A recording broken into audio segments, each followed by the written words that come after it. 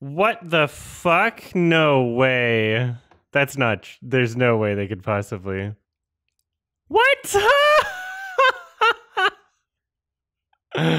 Rick, Rick and Morty continuing without Justin Roiland.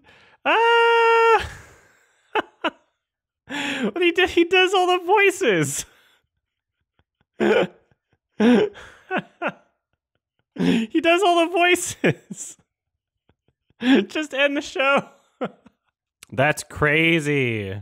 How do you continue Rick and Morty without Justin Roiland? That's fucking insane. Like, no comment on whether or not Adult Swim should still be working with him, but the fact that they're like, oh, we'll keep the show going. That's crazy. That's absolutely insane. This is so funny, actually. Not not the accusations, but like the the show continuing. Here's a way you could save it, which I think this is what they're going to do. This is what they have to do. This I this is my prediction. They're going to not even try to do the same voices and they're just they're going to have it as part of the joke. They're going to be like, "Oh wow, it's so funny that wow, isn't your voice different now?" And then that'll be the joke. That's that's my prediction.